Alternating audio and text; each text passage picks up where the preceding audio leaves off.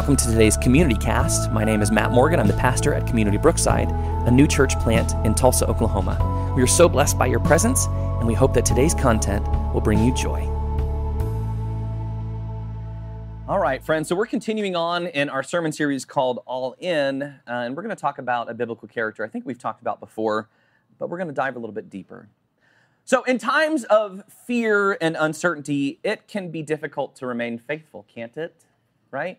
In moments when your life gets tough, sometimes it's hard for us to remember God in those moments. I want to tell you a story. During World War II, there was a British soldier who was captured by the Germans, and he was taken as a prisoner of war. He was sent to a camp where the conditions were harsh and the prisoners were treated poorly. We know that that's reality. One day, the soldier was caught reading his Bible. The German guard who caught him ordered him to hand it over, and he threatened to punish him if he was ever caught reading it again. But the soldier refused to give up his Bible. He knew that it was his source of strength and his source of hope, and he refused to let the soldier dictate what he was going to do with his own Bible. So the guard was taken aback by the soldier's bravery and his determination. He had never seen anyone stand up to him or the Germans before, especially in that way. Over time, the guard began to observe the soldier and his fellow prisoners more closely. He saw how they remained faithful even in the midst of their suffering, even in the midst of the hardest days of their lives. They drew strength from their faith in God. Eventually, the guard began to question his own beliefs and the actions of his government and his country. He himself began to secretly read the Bible and eventually turned his life over to Jesus and became a Christian. The soldier's faith had not only sustained him through those difficult times when he was able to read his little Bible, but by standing up in the midst of his fear, even in some of the scariest times of his life, it also impacted the life of his captor. This story reminds us that remaining faithful in the midst of fear is not only important for our own spiritual well being, but it can also impact the lives of people around us. So let me ask you this question Have you ever been in a situation where you had to choose between standing up to what, for what you believe in or compromising your beliefs to avoid conflict? You ever done that before? Oftentimes, for, for many of us, it's like in little tiny ways, isn't it? Things we choose not to say, or things we have to bite our tongues to keep from saying because somebody challenges us. It's not a situation that we face super often in the US because, let's face it, our country is the home of religious freedom. There are so many people who believe like us who are Christians that oftentimes we're not challenged in the way that many other Christians around the world are. However, there are always moments like the one we just heard about in that story.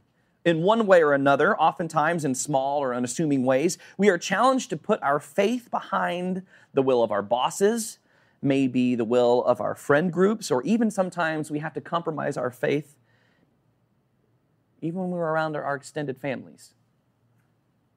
Not often as is it as extreme as the example of the soldier who kept his Bible, but sometimes, sometimes we are simply pressured to not talk about the church or our faith when we're around others who we feel might disagree with us, right? I think many of us have found ourselves in that situation. So when we go to Thanksgiving dinner with our family, what are the two things we can't talk about? Politics and religion, right?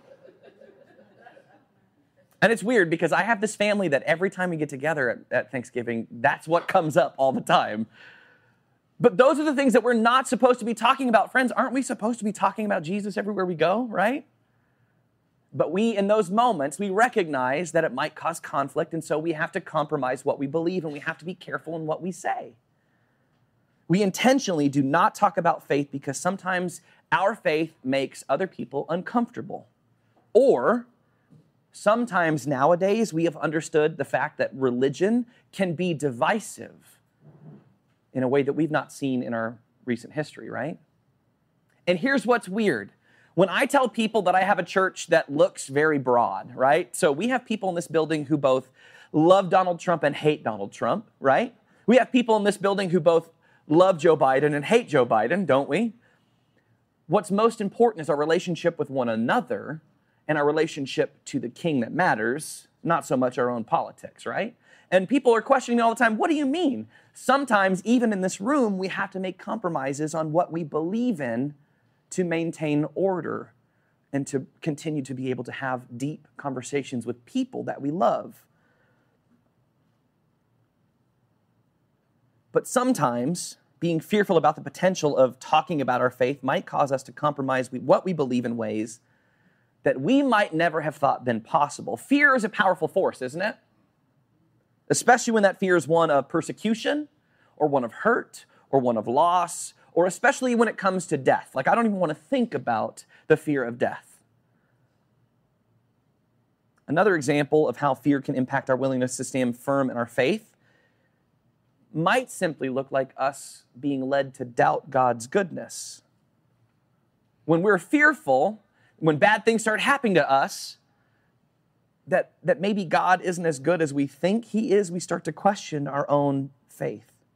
We doubt because sometimes we end up blaming God when bad things happen in our lives. And guys, let me remind you that God does not want bad things to happen. We live in a broken world that is filled with people who are disobedient and sinful, just like all of us.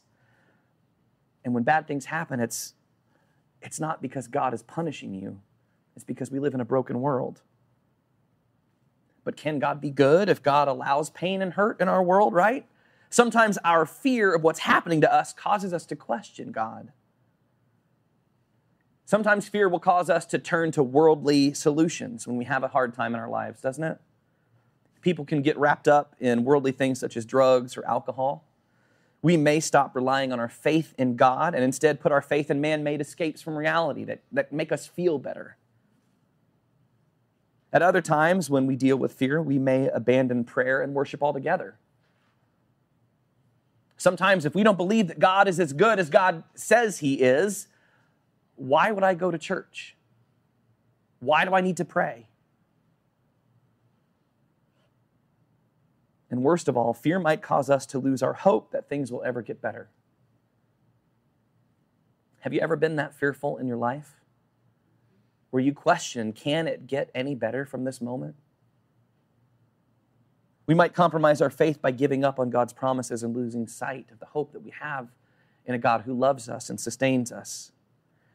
Do you understand that fear is a powerful thing? I'm sorry. Do you understand that fear is a powerful thing? Yes. And what should be even more powerful than fear is our faith and our trust in God. So think about it, friends. Do you ever feel that your faith in God is more powerful than the spirit of fear that sometimes invades our lives? Do you believe that God is bigger than any situation that you find yourselves in? And that's sometimes hard to say in the midst of those moments, isn't it? Right? The great news is that even in the hardest moments of our lives where God seems so far away from us and our faith is tested, the good news is that Scripture gives us an exact example of how we can pattern our lives and we can believe fully in God, even in the midst of some of the most fearful moments that we find ourselves. This morning, we're going to be talking about Stephen, who was the first uh, he was a first century Christian who lived just after the time of Jesus. And he lived during a time where the church really needed strong leadership. The church was struggling, right? It was a band of very few believers who sometimes had to hide themselves up in upper rooms. They had to meet together in, in private because they were fearful that they would end up just like Jesus was, crucified. And it just so happens that Stephen was a man who was strong in his faith, and we'll talk more about that here in a moment. But Stephen was the first Christian martyr. In the midst of his fear, his life was ended. And we're going to talk about what it looks like in those moments where we're fearful of even death. So we're going to start in the book of Acts. If you have a Bible, I invite you to pull it out, make some notes in the margin, feel free to underline. But if you don't have a Bible, you can read along on the screen. This is coming from the book of Acts, chapter 6, verses 1 through 6. Let's read what God has for us today. It says, In those days, when the number of disciples was increasing, the Hellenistic Jews among them complained against the Hebraic Jews because their widows were being overlooked in the daily distribution of food. So the twelve gathered all the disciples together and said, It would not be right for us to neglect the ministry of the word of God in order to wait on tables. Brothers and sisters, choose seven men from among you who are known to be full of the Spirit and wisdom. We will turn this responsibility over to them and will give our attention to prayer and the ministry of the word. This proposal pleased the whole group. They chose Stephen, a man who was full of faith and of the Holy Spirit, also Philip, Prochorus, Nicanor, Timon, Parame- uh, Parmenius, sorry, Parmenas, and Nicholas from Antioch, a convert to Judaism. They presented these men to the apostles who prayed and laid their hands on them. So uh, I'm reminded when I read this that if you just read it with confidence, no one will question you. But when you back up and say, uh, you missed it. All right. So some of these names are not, uh, you know, familiar. So uh, in this moment, from the beginning of the scripture, we see that there's an agenda among the people who are meeting together in worship. So it says the Hellenistic Jews are being charged by the Hebraic Jews because the Hellenistic Jews are not taking care of the Hebraic Jews' widows and orphans. Do you follow that? Right? So the Hellenistic Jews are the Greeks, right? So the converts to Christianity, the converts to Judaism, and those folks are being racist against the. Did I get that backwards? I think I did. Some of the Greek and Gentile widows were not being fed because it was the Hebrews who were born Jews were racist against the Gentiles. It's a really good thing we don't see that in the church today, right? I'm so thankful that there's there are no issues like that ever facing. There's no agenda of discrimination. Everybody's held to the oh, you laughed. Okay, all right. So the Hebraic Jews are the folks who grew up Jewish. They are Hebrew by both nationality and their faith. Therefore, when they treat converted Jewish Christians differently, we can see that there's a type of discrimination against those particular widows. They are not being fed, they're being overlooked in the disbursement of food. And friends, widows during this time, we've talked about this a thousand times in here, they had no rights, they had no ability to inherit property. If their husbands passed away, they were hopefully taken in with another younger family member, probably a son or a nephew. But if they didn't have any children or close relatives, they would have been left on their own to beg. And so the church began to take care of the widows and the orphans. The church said, There's a need, let's meet it. And then the problem was now that there's this division and there's, there's kind of this racism going on, there's this discrimination happening. Uh, the disciple says, Listen, the 12 apostles, they get together and they say, Listen, it, we are called to something different than it says waiting on tables, right? And that's a weird way to say that. But the disciples have a calling that is different than the one that meets the needs of the, the widows in this time. And so they do what we see as the very first um, anointing of deacons in the church. So these people are anointed to a very specific task. They are to feed the widows. And one of them is Stephen. Stephen is specifically talked about uh, out of the seven as being a man who is full of faith and full of the Holy Spirit. He is honored specifically among the others, and this is important for the rest of his story. So let's read on. We're starting in Acts 6 8 through 15. It says, Now Stephen, a man full of God's grace and power, performed great wonders and signs among the people. Opposition arose, however, from members of the synagogue of the freedmen, as it was called Jews of Cyrene and Alexandria, as well as the provinces of Cilicia and Asia, who began to argue with Stephen. But they could not stand up against his wisdom that the Spirit gave him as he spoke. Then they secretly persuaded some men to say, We have heard Stephen speak blasphemous words against Moses and against God. So they stirred up the people and the elders and the teachers of the law. They seized Stephen and they brought him before the Sanhedrin. They produced false witnesses who testified, This fellow never stopped speaking against the holy place and against the law. For we have heard him say that this Jesus of Nazareth will destroy this place and change the customs Moses handed down to us. All who were sitting in the Sanhedrin looked intently at Stephen, and they saw that his face was like the face of an angel. What do you think of when you think about the face of an angel? Innocence, right? Like I always think of like the little cherub who's got like the little wings, and like a little fat baby, right? And he's got the little bow and the arrow. Like I know that's very pagan, but I, I think it's like like the little fat cheeks of this perfect little cute little angel, and there's Stephen. Like, uh, no? no? Uh-huh. What do you think of? I think of big, I mean, very tall. like me, yeah, strong. long white robes, usually glowing. Um, a long time ago, the, the books left behind, there was a Oh, one called Tao, I believe, and he was very strong. okay. Or like Michael. Y- or- Yeah, you know that the Left Behind series is not biblical, right? Like, you know that? Okay, all right. So, yeah, so oftentimes we have different understandings of what an angel looks like, right? So, Michael is, uh, you know, this angel that's supposed to be like this archangel that's big and strong and tough, but I always think cherub. Right? Like that's that's the angel I think of. And so they look around and they they're throwing all these accusations at Stephen and everybody looks at him intently. How do you look at somebody intently, right? and he has the face of an angel. That's an interesting phrase.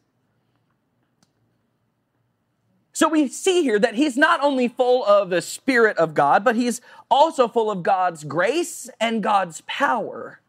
He's becoming popular because he's doing miracles around uh, in, in the different areas that he finds himself. And anyone, as you know, who gains popularity, anyone who gains popularity sometimes becomes a target, right? especially when your popularity challenges somebody else who already has popularity. You've seen all those like feuds back and forth on Twitter between the celebs, like Ariana Grande and I don't know anybody else famous, but like if I did, she's probably fighting with them, right? Like and Rihanna and all those things, right? Because people who are popular just want to stay popular and they'll do whatever it takes to remain that way, right? And we see the exact same thing is happening in the synagogues of the freedmen, right? Because they disagree with Christianity in total. The synagogue of freedmen is a synagogue, it is a Jewish, historically Jewish place of worship, right? They don't believe Jesus is the Son of God, whereas now this Christian Jewish movement believes that Jesus is the Son of God, He was the Messiah, and we have put Him to death, right? And so theologically, they are opposed to one another, but because Stephen is gaining so many converts to the Christian faith, they have to start a rumor. And again, it's a good thing we don't see anything like that in churches today, right? Right? So they start these rumors that he's blaspheming against the Jerusalem temple and he's also blaspheming against the ways of Moses, starting rumors to challenge his authority. So they begin this trial, and it's based on nothing but these false charges. People were literally sought out to lie in court about these charges. And as testimony commences, we see the witnesses talk about how Stephen claimed that Jesus was going to destroy the temple and he was going to change the customs of Moses. And then when they look at Stephen, he's like an angel. So we have to continue on, and I'm going to summarize a lot of what's happening later on. And so as chapter 7 goes on, uh, the high priest looks over at Stephen and then asks him if these charges are true. Stephen, are you a blasphemer? And instead of just answering the question, Stephen starts to preach. He just goes to town. He takes them on a walk down history lane of the Hebrew people. It's a strong sermon that he gives. He's trying to prove that there is nothing blasphemous about what he is saying. So he starts to give a lesson on scripture, starting with Abraham, and he calls, uh, he talks about how Abraham was called by God to leave his homeland and to go to the promised land, that Abraham left in faith doing what God had asked. Then he continues to talk about Abraham's promised son, Isaac. And then he talks about Isaac's son, Jacob. And then he talks about how Jacob's 12 sons became the 12 patriarchs, the 12 tribes of Israel. Then Stephen talks about the famine that struck all of Israel and all of the ancient world, and how Joseph was put in the right spot at the right time by God to make a difference in all the world. And Joseph became second in command behind Pharaoh in Egypt. And he allowed the Hebrew families to come and live in a part of Egypt that was plentiful and bountiful. And then he started talking about uh, the, the exodus from the, the, the slavery that they had in Egypt. He tells of how Moses led his people out of bondage and they faced the hands of uh, the Egyptians and, and how Moses received the Ten Commandments, and all of this history is being given. And then later in chapter 7, he talks about how the tabernacle of the Lord was made in the wilderness as a dwelling for God so that God could have a place to show up in the midst of his people. And eventually, there was a temple that was built by Solomon. And that's where we're going to pick up. So in Acts 7 44 through 8 3, it says this. And this is Stephen talking. He says, Our ancestors had the tabernacle of the covenant with law with them in the wilderness. It had been made as God directed Moses, according to the pattern that he had seen. After receiving the tabernacle, our ancestors under Joshua brought it with them when they took the land from the nations God drove out before them. It remained in the land until the time of David, who enjoyed God's favor and asked that he might provide a dwelling place for God, for the God of Jacob. But it was Solomon, his son, who built a house for God. However, the Most High does not live in houses made by human hands, as the prophet says. Heaven is my throne and the earth is my footstool. What kind of house will you build for me, says the Lord? Or where will my resting place be? Has not my hand made all these things? This is a solid teaching. Like he's going to town on these folks. And then he says, You stiff necked people. Guys, have you ever tried to win an argument? Do you ever win an argument when you start calling people names? Yes? Wrong. A teenager says that. She'll learn, right? No, when you start resorting to name calling, people are done, right? So here's Stephen in the midst of trial, right? And at this point in the history of the world, when you're brought up on a church trial, you don't only get excommunicated, they don't kick you out of the church, they may murder you, right? If I was standing there in front of the Sanhedrin, I probably would not say, You stiff necked people. That's like saying, Hey, you dummies, right? You stiff necked people, 51, your hearts and ears are still uncircumcised. You are just like your ancestors. You always resist the Holy Spirit. Was there ever a prophet your ancestors did not persecute? They even killed those who predicted the coming of the righteous one. And now, you, you, have betrayed and murdered him. You who have received the law that was given through angels, but have not obeyed it. Guys, this is getting serious and juicy. You guys, you are the ones who were predicted. You had the law, and the law said the righteous one is coming, and then you murdered him. You guys did that. There's a lot of finger pointing. Calling names, bringing up truth. Sometimes those things get people upset. So let's hear the response. When the members of the Sanhedrin heard this, they were so excited and they repented of their sins. Oh, wait. No, that's, oh, that's not what it says. Oh. It says, when the members of the Sanhedrin heard this, they were furious and gnashed their teeth at him. Can anybody gnash your, gnash your teeth at me, would you? Let me see what that looks like. Okay, so that's a good one. Keep trying. No, Michael's got it. Michael's like, no, I don't. Michael has gnashed his teeth before. So I, I don't really know what that looks like. I'm sure it's like, got not just the, the teeth, but you got to get the lips like high so they can see the teeth. The gnashing of teeth, right? But Stephen, full of the Holy Spirit, looked up to heaven and he saw the glory of God and Jesus standing at the right hand of God. Look, he said, I see heaven open and the Son of Man standing at the right hand of God. At this, they covered their ears and started yelling at the top of their voices. Who does that? Levi did that when he was four. La, la, la, la, la, la, la, la, la. Right? I don't want to hear what you're trying to talk about right now, crazy person. And so they're gnashing teeth covering their ears and acting like toddlers. And they all rushed him. And 58 says, they dragged him out of the city and began to stone him. Meanwhile, the witnesses laid their coats at the feet of a man, young man named Saul. And friends, this is what we call foreshadowing. All right? Verse 59 says, When they were stoning him, Stephen prayed, Lord Jesus, receive my spirit. Then he fell on his knees and cried out, Lord, do not hold this sin against them. When he had said this, he fell asleep. And friends, that does not mean he was taking a nap. And Saul approved of their killing him.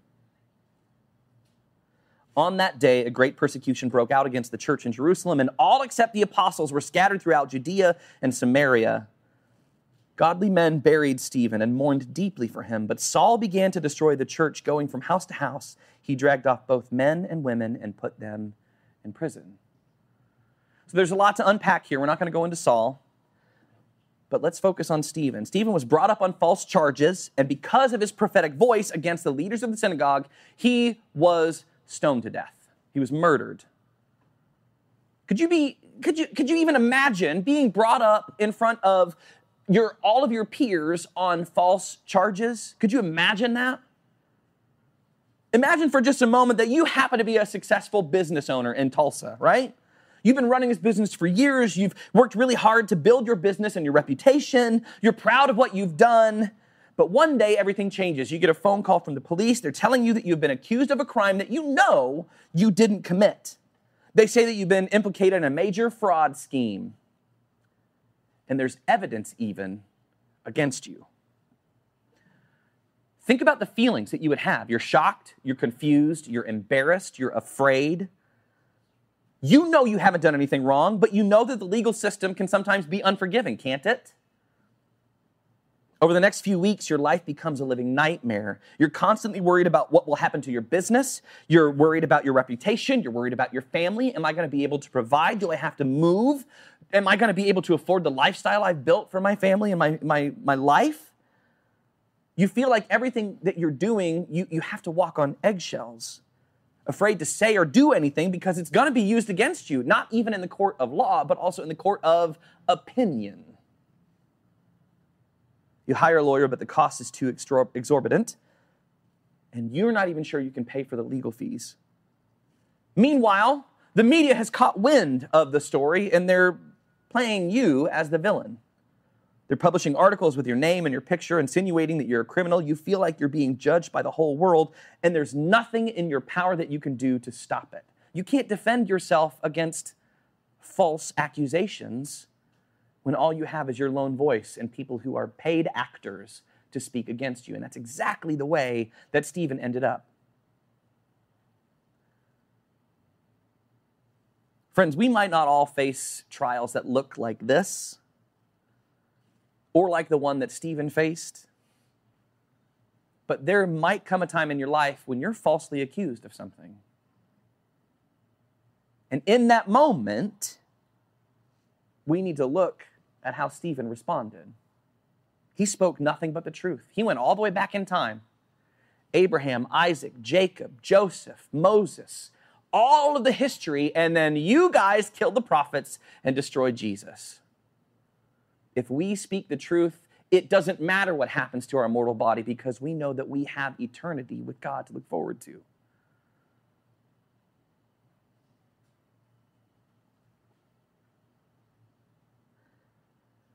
The promise of God is that we can take to heart in knowing that we are not alone when we deal in those moments of fear.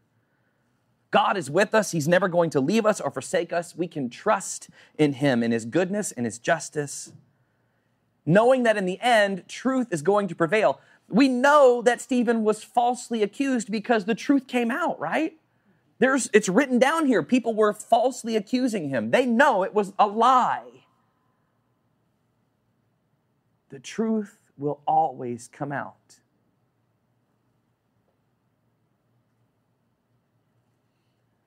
And Stephen trusted. He trusted in God's goodness and God's justice. In the scariest moment of his life, he literally sees the face of God and his Savior standing next to God. Even through his fear, he recognizes that God didn't leave him because God is there in that moment. He knows that God was with him, and the words that he spoke were words of truth. Speaking to the hearts of the religious leaders and calling them into account for the persecution of the prophets and the murder of Jesus. Without a doubt, even in the midst of one of the most fear inducing moments of Stephen's life, he was all in. His faith never wavered, and he spoke strongly against those who accused him. He knew that he had done nothing wrong, but would not back down when it came time to speak about his faith, right? He told everybody everything that he believed. He was a faithful Christian who loved Jesus and was powerfully equipped to make converts to the Christian faith too. And even when he was talked bad about, and he, even when he was ridiculed, even when he was lied about, he remained faithful to God. He was all in. Friends, the reality of this story is that this still happens, right? Things that we say or don't say can be used against us to create a false narrative. Our lives are not ever guaranteed to be easy or perfect. But the gift of this story for us is that we can be strong in those moments, even when our lives feel like they're falling apart. Just like Stephen never turned his back on God or walked away from his faith when it got hard and messy, this shows us that when we are all in, we don't have to turn back on our faith either. We have the strength to do exactly what Stephen does. He has set a perfect example for us when our lives are made fearful. When we are all in, we can stand firm knowing that even when life is tough, God is right there with us. God is loving us even if we can't see Him, even when we don't realize it. And the best way for us to remain all in when life gets hard and fear overtakes us is to know who our God is. We have to read scripture that tells us about this God who created us and sustains us, created us in his own image to be like us, or for us to be like him, really. And God equips us with the power of his Holy Spirit.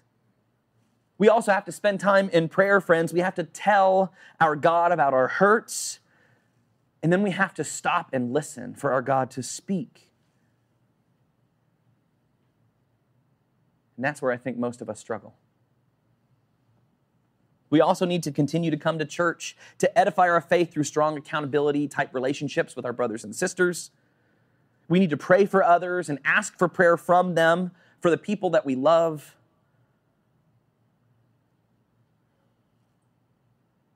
When we continue to feed into our spiritual lives, we will be equipped in the same manner that Stephen was to stand strong, even in the midst of some of the most fearful moments of our lives but we have to train ourselves upright to do it.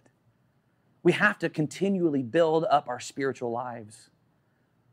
And friend, I think, I think we need all of us to do that. We need solid Bible study. We need strong friendship relationships. We need a deep understanding of who God is through reading scriptures. We need a strong prayer life. We need to be all in. So, friends, today and always, may each of us be as all in as Stephen was. May the challenges of the world take a backseat to our strong faith in a God who loves us even in the midst of fear and hardship. May our faith be as strong as Stephen when it matters most, and may our love of God impact others and draw them to see how good God is, just as Stephen's life does. Friends, let our all in love of God help us to change the world every single day. Thank you so much for joining us on today's Community Cast. We hope that you were blessed by today's conversation. If you'd like to know more about Community Brookside, please feel free to visit us at our website, communitybrookside.com, or find us on your favorite social media outlet. We hope to hear from you soon. Be blessed.